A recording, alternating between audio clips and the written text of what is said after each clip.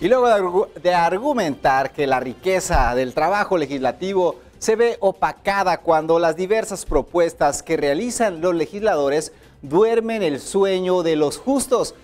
en las comisiones responsables de analizarlas y dictaminarlas, lo que genera entre los ciudadanos la percepción de que los legisladores no presentan iniciativas o estas no les representan ningún beneficio. La diputada del PAN, Andrea Villanueva Cano, propuso diversas reformas a la ley orgánica del Poder Legislativo que, entre otras modificaciones, busca la eliminación de los recesos legislativos a fin de que el Poder Legislativo esté en condiciones de sesionar los 365 días del año sin divisiones ni periodos extraordinarios.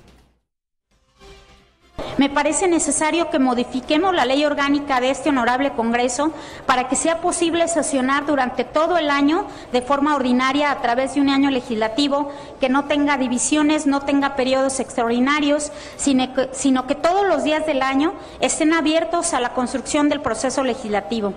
Ejemplos de situaciones excepcionales ha habido muchos y en todo momento, por lo que establecer periodos de receso no es pertinente, además de que la apertura de estos no se respeta, por lo que resulta absurdo establecer fechas en las que supuestamente debe restaurarse el periodo legislativo después de pausas absurdamente prolongadas. La parálisis legislativa que sufrimos afecta muchos asuntos que permanecen detenidos por periodos muy largos en las comisiones dictaminadoras, cuya función es aportar lo conducente para perfeccionar los proyectos de ley o de reforma de las mismas. Pero el despacho de los asuntos es demasiado lento y muchos de ellos nunca llegan al Pleno para ser votados, por lo que debemos perder el miedo a deliberar en el Pleno sobre las iniciativas que presentemos, que se voten en sentido positivo o negativo pero que sean sometidos a votación y para ello pues tenemos que acelerar el proceso para dictaminar las iniciativas y facilitar su regreso al Pleno para su aprobación o desaprobación definitiva.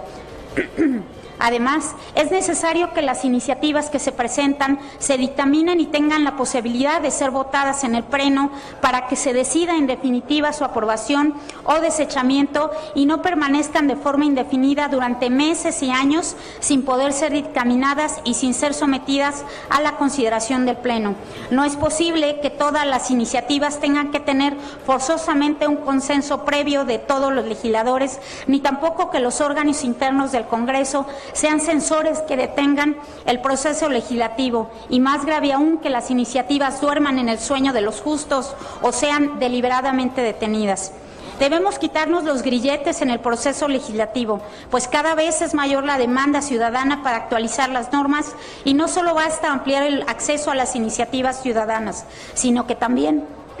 es indispensable agilizar el proceso legislativo y alcanzar de una forma más eficaz y expedita su aplicación general. Sabemos que hay una enorme expectativa de lo que un diputado puede hacer real y legalmente. Los ciudadanos solicitan muchas veces una serie de demandas que los congresistas no logran satisfacer. Nuestro deber, por supuesto, es hacer todo lo posible para facilitar esa encomienda. Los medios de comunicación orientan en gran medida la opinión de la ciudadanía sobre el trabajo del Congreso al que llegan representantes de sectores sociales y regionales con demandas justas, que en muchas ocasiones terminan obstaculizados por la inoperancia y los complicados procedimientos al dictaminar los asuntos turnados a las comisiones. Por ello debemos privilegiar el consenso, revalorar la política y fortalecer la democracia y para eso hay que facilitar la productividad legislativa. Con esta reforma, compañeros, contaremos con una ley más acorde a las necesidades del trabajo legislativo y abonaremos en su eficacia y productividad. Daremos la máxima ventana de oportunidad para presentar los asuntos y agilizaremos que el trabajo legislativo, ya que contaremos con un mecanismo que permitirá despachar los asuntos con mayor eficiencia.